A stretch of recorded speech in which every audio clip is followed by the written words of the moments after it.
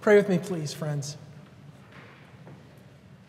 Guide us, O Lord, by your word and Holy Spirit, that in your light we would see light, in your truth find freedom, and in your will discover a true peace that transcends and surpasses all of our understanding.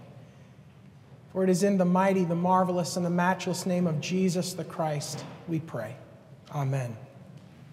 Friends, I feel as if I must begin this morning with an apology. I've been unofficially diagnosed with a man cold. For those of you that don't know what a man cold is, it's just a regular head cold, but I'm just such a wimp that I just want to drink a bottle of NyQuil and wake up on Thursday. But alas, it is Advent 1 and it is so good to be with you this morning. My guess is that many of you over the last several days spent long and loving moments with family. This is a season of family. Family parties and family get togethers, family name draws and family white elephant exchanges this is a wonderful time of the year when we can come together as families.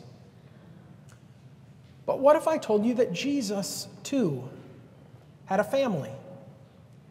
And like us, Jesus would have undoubtedly spent lots of time with his family, especially around the seasons of the festivals where Jesus' family would have gathered and they would have shared meals and laughter and love with one another. And undoubtedly, this time of year, the different dynamics within our families are only heightened.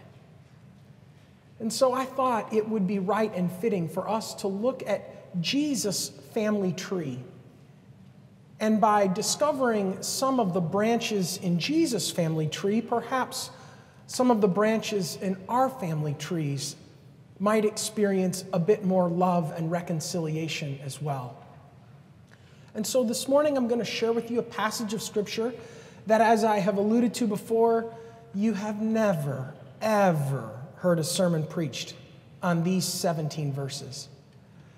Because to be honest, they're just a long, long list of names. Names that are related to our Savior. So I invite you to do what you need to do best to listen most carefully to the word of the Lord. An account of the genealogy of Jesus, the son of David, the son of Abraham. Abraham was the father of Isaac, and Isaac the father of Jacob, and Jacob the father of Judah and his brothers. And Judah was the father of Perez and Zerah by Tamar. And Perez the father of Hezron, and Hezron the father of Aram, and Aram the father of Amminadab, and Amminadab the father of Nahshon, and Nahshon the father of Salmon, and Salmon the father of Boaz by Rahab, and Boaz the father of Obed by Ruth, and Obed the father of Jesse, and Jesse the father of King David. And David was the father of Solomon by the wife of Uriah, and Solomon the father of Rehoboam, and Rehoboam the father of Abijah, and Abijah the father of Asaph, and Asaph the father of Jehoshaphat, and Jehoshaphat the father of Joram, and Joram the father of Uzziah, and Uzziah the father of Jotham and Jotham the father of Ahaz, and Ahaz the father of Hezekiah, and Hezekiah the father of Manasseh, and Manasseh the father of Amos, and Amos the father of Josiah, and Josiah the father of Jeconiah and his brothers at the time of the deportation to Babylon. After the deportation to Babylon, Jeconiah was the father of Zerubbabel, and Zerubbabel the father of Salathiel, and Salathiel the father of Abiud, and Abiud the father of Eliakim, and Eliakim the father of Azor, and Azor the father of Zadok, and Zadok the father of Achim, and Achim the father of Eliud, and Eliud the father of Elazar, and Elazar the father of Matthan. Matthan was the father of Jacob, Jacob the father of, Jess, of Joseph, the husband of Mary, who bore the son Jesus, who is the Messiah. Thus, the generations from Abraham to David are 14 generations. And the generations from David to the deportation to Babylon are 14 generations. And the generations from the deportation to Babylon to the Messiah are 14 generations. And this is the word of the Lord. Thanks be to God. No, stop, stop. Oh my goodness. Stop, stop, stop, stop, stop, stop. Stop, stop. Matthew 1 1 through 17. Friends, it is not just a long list of names, there is wonderful gospel teaching for us in these words. And one of the cultural insights that's lost is that in the ancient world, your family was an extremely big deal, perhaps even more than it is here. Who your family was, the stock you came from, had large implications on your economic, on your social, on your entire livelihood. In fact, how we understand God is oftentimes in context of family, in relationship. We understand God as Father, Son, and Spirit in relationship with one another. How many times do you read the Bible and you'll come across a phrase like this the God of Abraham, the God of Isaac, the God of Jacob, or so and so was father to this person, or father to that person, or son to this person? Family was an extremely big deal in the ancient world. And it's true for us today, isn't it? Our family is a really, really big deal. Who we come from, our stock, our lineage, our people, who we come from, plays an enormous impact on who we are this morning. How we deal with love and loss, how we handle possessions and money, the way we forgive or perhaps don't forgive. Oftentimes, these things are connected and we can trace them back to a larger family system, which is to say that our families help develop us, who we are. Our families help develop us. We can oftentimes look back and trace the lines in your family that so and so looks like great grandpa or so and so is very musical, just like grandma was. Our families help develop us. And so perhaps this morning, this season, is a time for us to reflect back on our families, on our children, our grandchildren. Go back a few generations, our parents, our grandparents, even our great grandparents. Reflect on our families.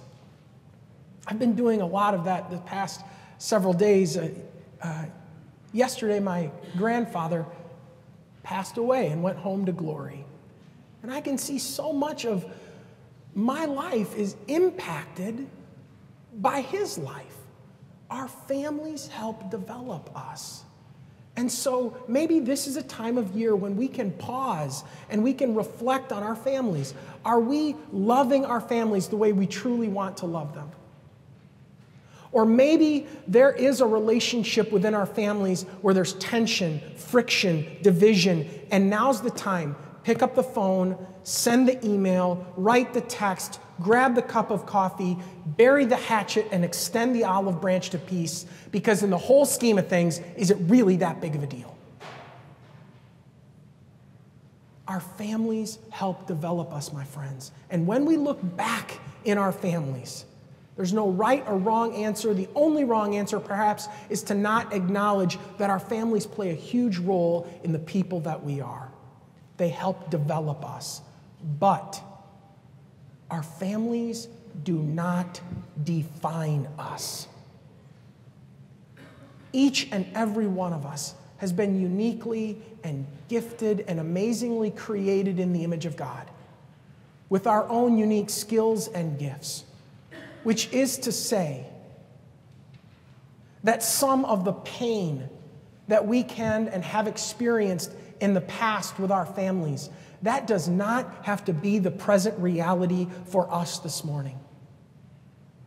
The cycles that we can trace back a few generations addiction, divorce, pains, challenges that can stop with us this morning. Our families help develop us, but they do not define us. Now, how about Jesus' family? His royally broken family tree. One of the things, upon a closer look in the long genealogy of Jesus, is that there are some really, really bad guys. Don't think for one second that Jesus' relatives are saintly. Nothing could be further from the truth. Take for a moment Ahaz. Ahaz was a really, really bad guy. He murdered members of his own family. He practiced pagan worship he got himself into trouble and then had the Assyrians buy him out of trouble. Ahaz was a really bad guy. So was Manasseh. Ouch, Manasseh. Manasseh, not a good guy. He too did unthinkable acts with members in his own family, practiced cultural genocide, and consulted spiritual mediums in pagan worship. Or Rehoboam Rehoboam was not a good guy either. His rule can be described as a loss of about half of the entire kingdom and um, moving the moral compass in unhealthy directions, a loss of integrity. Rehoboam was not a good guy. And so, the pastoral point that I obviously want to share with us this morning, that each of us need to hear, is that all of our families are broken. All of them. It does not matter, my friends, how nice we look on the outside, the homes we live in, the schools we went to, or the economic status we find ourselves in. Each and every one of our families has a broken branch, at least one. Each and every one of our families has a Manasseh. And maybe you're the Manasseh. And that's okay because all of our families are broken and all of our families are still tethered and connected to Jesus. You know, one of the cool things that I love about the genealogy is that these individuals are named. You know, they're not skipped over, they're not brushed under the rug as if they would somehow taint the holiness and the purity of Jesus? No, Ahaz and Manasseh and Rehoboam, they're named. And I think if we were honest, when we look at our own families, some of the things that, you know, we're just, we're not proud of, maybe it brings us shame. Maybe it brings us embarrassment. And we would just assume just not not deal with that side of the family? But the fact that these characters and these individuals are named reminds me that there is hope and possibility for redemption in their families and in our families, my friends. There is opportunity for hope and redemption when we can name it, when we can speak the truth in love. So take heart to know that each and every one of our families, while may have a few broken branches, are still connected to the family tree of the only sinless person to ever walk the face of the earth. But there's one more thing I want to share about the family tree of Jesus. the royally broken family tree. And that is the royalty of Jesus. The prophet Isaiah describes Jesus as wonderful counselor, mighty God, everlasting Father, the Prince of Peace. But make no mistake about it, my friends, the people that were waiting for Jesus were looking for a king. They were looking for a king to go toe to toe with the Romans. They were looking for a king to overthrow the oppressive powers of the day. They were looking for a king to restore equilibrium to a group of people that were marginalized and silenced and pushed away. They were looking for a king, all right. But what they found was not what they were expecting. They found a king. A king not draped in royal purple, but a king wrapped in swaddling clothes. They were looking for a king to be surrounded by the most brilliant advisors and strongest leaders. And they find a king next cows, goats, and sheep. This is the king they find. Dear friends, as we begin this Advent journey of waiting and preparation. May we be mindful of the kind of king and the kind of kingdom this king comes to establish. One that says, if you want to be first, be last. If you want to be strong, be weak. This is our king who comes from a family tree much like ours, full of broken branches longing for redemption, savoring the grace that God gives us. And friends, at this table, we are reminded of God's grace in the bread and in the cup, whereby the power of the Holy Spirit we are united to Christ. And all are welcome to experience God's lavish love and mercy at this table. Would you please join with me in the great prayer of thanksgiving printed in your bulletin? The Lord be with you. Lift up your hearts. Let us give thanks to the Lord our God. Pray with me, please. Holy and right it is, and our joyful duty, to give thanks to you at all times and in all places, O Lord, our Creator, Almighty and everlasting God. You created the heavens with all its host and the earth with all its plenty. You have given us life and being and preserve us by your providence. But you have shown us the fullness of your love by sending into the world your Son, Jesus Christ, the eternal Word made flesh for us and for our salvation. Therefore, we praise you, joining our voices with the angels and archangels and all the company of heaven who forever sing to the glory of your name.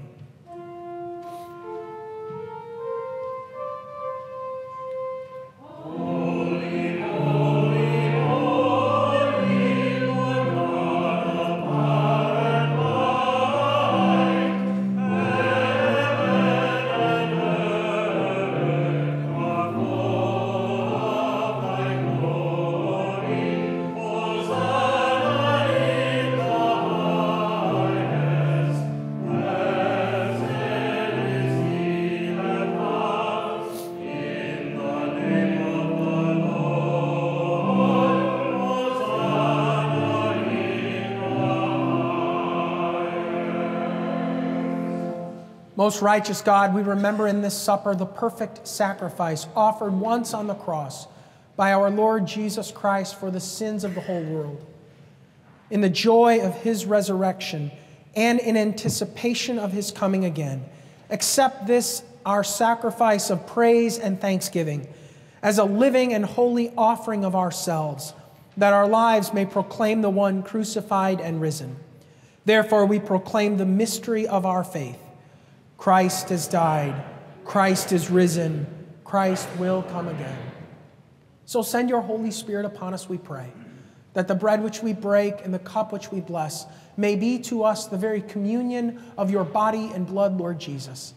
And grant that being joined together with you, we may obtain to the unity of the faith and grow up into all things into Christ Jesus our Lord. And as these grains have been gathered from many fields into one loaf, and these grapes from many hills into one cup, grant, O Lord, that your whole church may soon be gathered into your kingdom. Even so, come, and come soon, Lord Jesus. So, with the confidence of the children of God, we pray together the prayer that Jesus taught us, saying, Our Father, who art in heaven, hallowed be thy name. Thy kingdom come, thy will be done on earth as it is in heaven. Give us this day our daily bread, and forgive us our debts as we forgive our debtors. And lead us not into temptation, but deliver us from evil. For thine is the kingdom, and the power, and the glory forever. Amen. And on the night in which Jesus was betrayed by one of his closest friends, he took bread, and after giving thanks, he broke it he gave it to his disciples, saying, Take, eat. This is my body that is given for you. As often as you eat of it, do this in remembrance of me. And in the same way, he took the cup. And after giving thanks, he poured it and said, This cup is the new covenant in my blood that is shed for the forgiveness of sins. As often as you drink of it, do this in remembrance of me. For as long as we eat of this bread and drink of this cup, we are proclaiming the Lord's death and resurrection until he comes again. Friends, as a gesture of hospitality, once the bread is distributed, you may partake, and when the cup is passed, you can hold on to it, and we will celebrate the sacrament of the cup as one body in Christ. Friends, all things are now ready.